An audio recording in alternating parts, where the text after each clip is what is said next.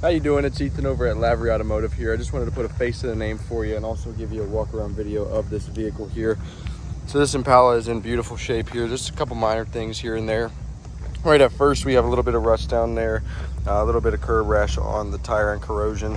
Um, outside of that, you got a little scuff there. Hood looks really good. No dents or dings, any of that stuff. Um, emblem looks good, still there. Lights are in good shape. No cracks on the windshield a little bit of rust down here as well. Um, but this is a very, very clean Impala here. Beautiful inside right there. Uh, you do have a little bit of a rust down there. That kind of follows with the one part of it.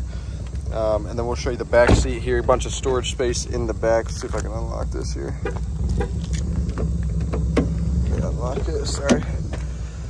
Do apologize. There we go. So very clean back seat, no tears in the leather, no stains, big back seat. Um, see the trunk space here. Oh, there's a little cricket or something right there. Let's see if we can open this up. Yeah. Pop the key in here.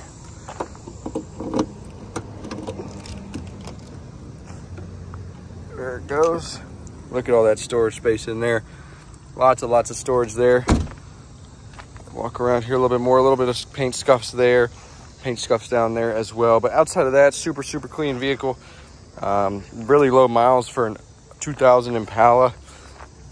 Only asking five something for it. So would love to get you in here have a take a look at this and get this thing out of here so we can get it in your driveway. Thanks sir. Hope to hear from you soon